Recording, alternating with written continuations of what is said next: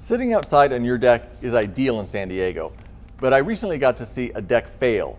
And that's why Katie from Best Rate Repair and Termite Service is here with us today to be able to talk about decks, and it's actually Deck Safety Month. It is. So all of May is Deck Safety Month. And we're talking about a lot about safety today. This is another important safety topic. Now, I recently got to see what happens when a deck fails, and we're going to talk about that a little bit more. But there's been a lot of stories of, of uh, people actually losing their lives in, in deck collapses. One in Berkeley not long ago. Yeah, and that was actually, there were some fatalities in that one as well. Yeah, it's, it's an important topic that I think people don't think enough about. Definitely. Now, what are some of the critical areas in terms of maintenance for a deck? Well, I think I want to point out most first is that you should have an inspection performed on your deck every year.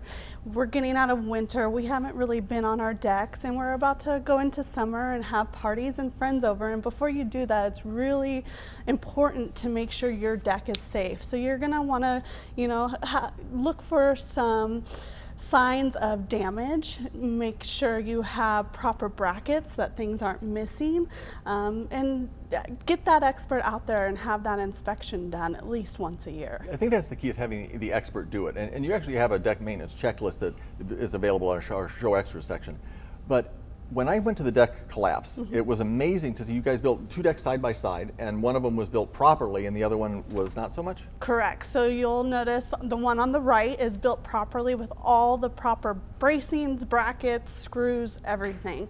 And then the one on the left, that is the one we actually collapsed, and that's a demonstration of a ledger board failure, which is very common in deck collapses. And, and the one on the left is what you get, I think, when Chuck in a truck or somebody that doesn't know what they're doing builds a deck, which is actually all too common unfortunately. Unfortunately, yes. Now, at, at, Best Rate, you do it the right way with, with the right kind of strapping and the right kind of hardware. Those are the critical elements, correct? Yes, one thing that is very important at Best Rate is we paint all wood prior to reinstalling, um, and that's going to be on all six sides of the wood. It's going to help preserve that wood to make your deck last longer, and that's one step that's super important. It's minor detail, but it's missed often.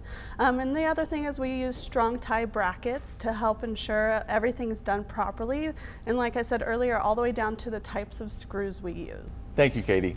You guys do it right. And one of the things you also do is provide those deck inspections at no cost. Great thing to get, you need one. Call Best Rate today. You can find them at approvedhomepros.com slash bestrate.